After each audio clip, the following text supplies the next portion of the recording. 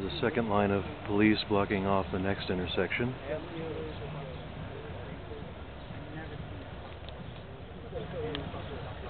And plenty of open field.